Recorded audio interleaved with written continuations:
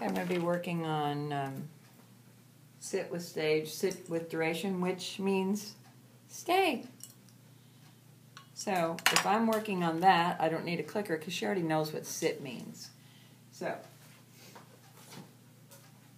sit, good girl.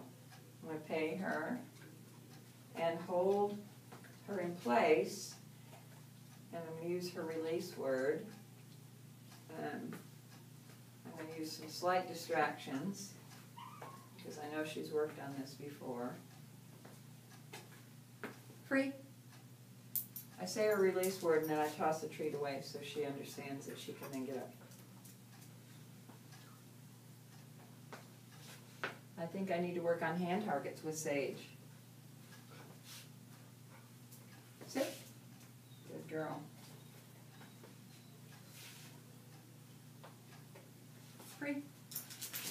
That's how we build duration.